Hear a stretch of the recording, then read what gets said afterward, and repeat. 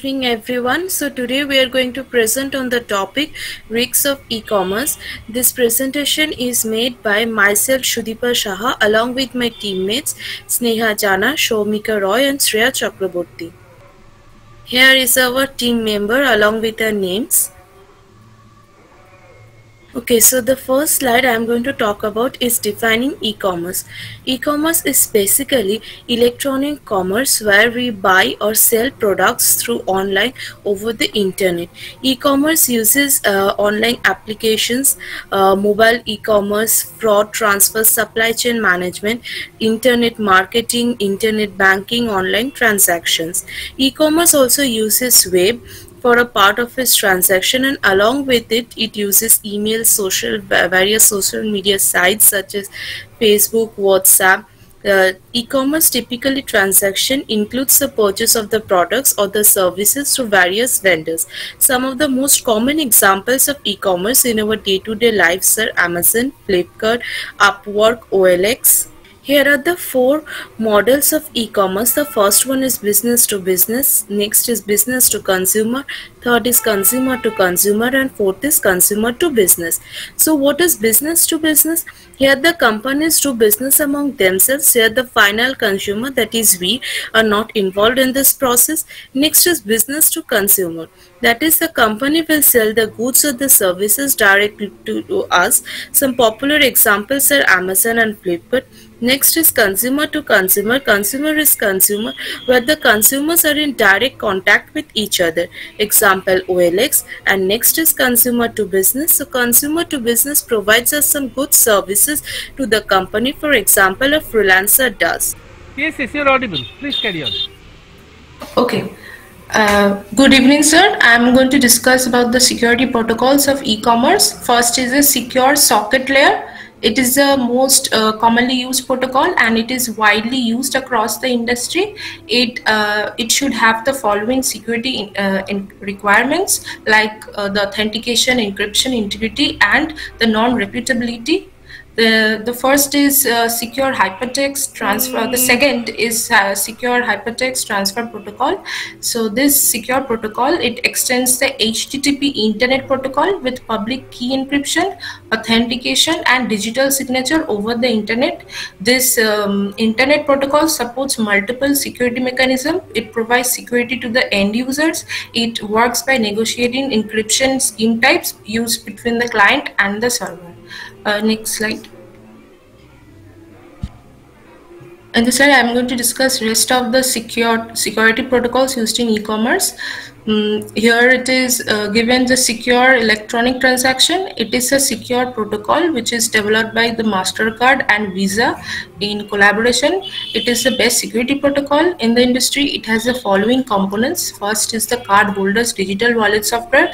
Its function it is, is allows the card holder to make secure purchases online via point and click interface. Second is merchant software. This component uh, helps merchants to communicate with potential customers and financial institutions in a secure way.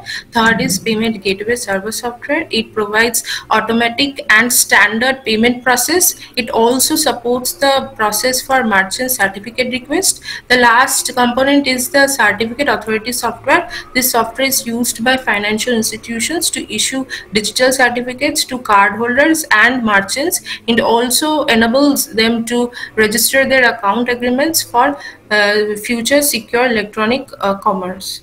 Thank you. Good afternoon, sir, and good afternoon, everyone. I am Sneha Jana. I will be discussing about the measures to ensure security.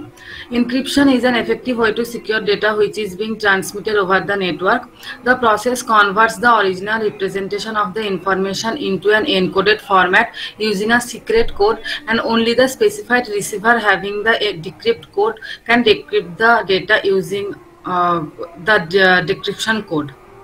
Another measure is uh, digital signature. It ensures the authenticity of the information. A digital signature is an e-signature authenticated through encryption and password. Next is security certificates. Security certificate is a unique digital ID used to verify the identity, identity of an individual website or user. Next slide. Now let's discuss about the firewall. A firewall consists of software and hardware setup between an internal computer network and the internet.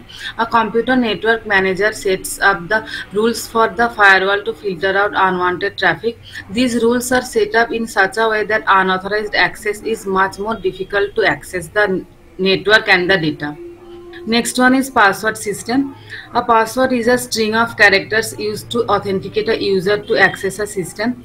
Passwords must be at least 8 characters long and contain a combination of upper or lowercase letters, numbers, symbols so that it is become difficult for an unauthorized user to guess the password.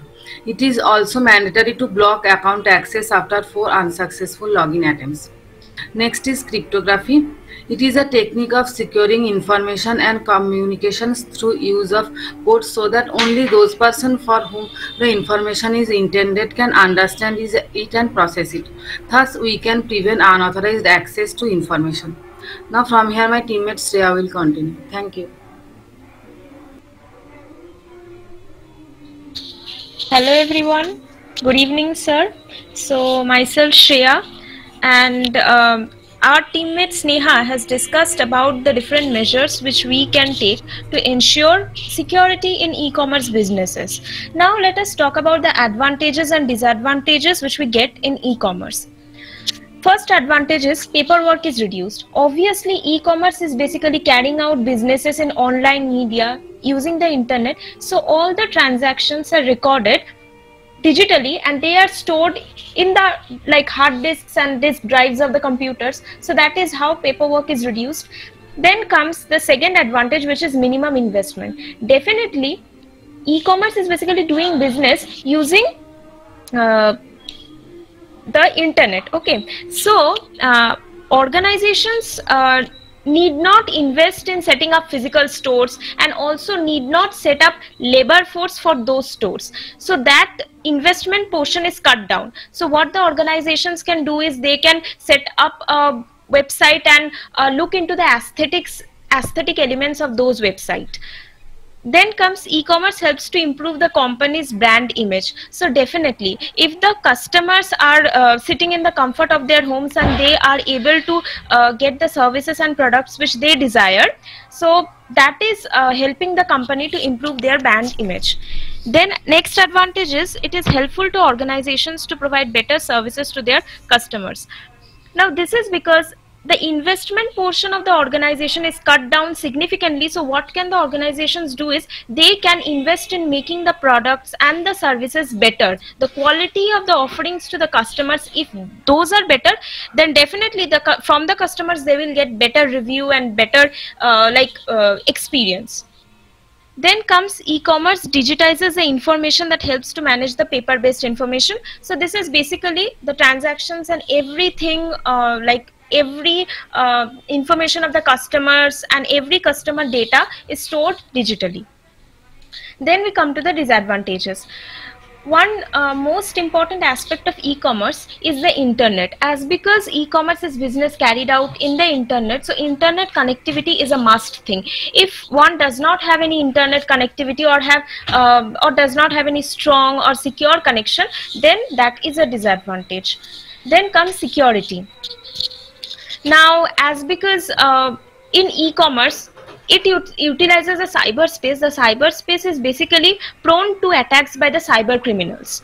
So security is a very big uh, aspect of e-commerce. If proper security is not implemented, then it can hamper uh, customers' data, which can result in identity theft, credit card theft, etc. Then uh, the next aspect is also of security, that is e-commerce uses a public key, which is not very much secure. Then uh, the next disadvantage that is lack of feel or touch of products while purchasing them online was actually a disadvantage uh, nearly 10 to 20 years ago when uh, the uh, online marketing and the business of e-commerce just started. With the advent of technology, people uh, would be like, I am not able to see the product physically. I am not able to touch it. Then why will I buy it? But with the advent of technology, uh, now the mindset of people have changed. They are um, as because they are getting products by sitting in the comfort of their homes, um, and uh, everything is at their fingertips. This is not really a disadvantage nowadays, and people actually prefer um, ordering products and services from online. Then comes uh, again. Uh, this disadvantage is also uh, very uh, subjective. That is um, it is inconvenient to use the internet for those people who are living in remote villages and it is still not cheaper. So we often say that even nowadays everyone has a mobile phone and everyone has an internet connectivity. But there are also certain section of people who live below the poverty line and also there is a certain section of people who are basically uh, just get the basic requirements of shelter and food. For them internet and the mobile phones is definitely luxury. So e-commerce is not catering to that kind of audience. So that is a disadvantage.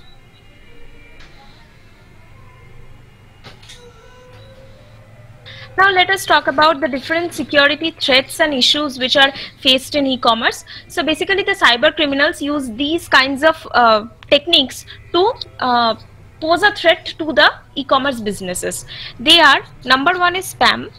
So spams are basically uh, huge kinds of or bulky um, uh, unwanted messages which um, are sent to the users. So what happens is that the spammers visit the social media inbox and send those kinds of messages and they wait for the users to click on them. So uh, the spam messages might also contain some malicious links then comes phishing.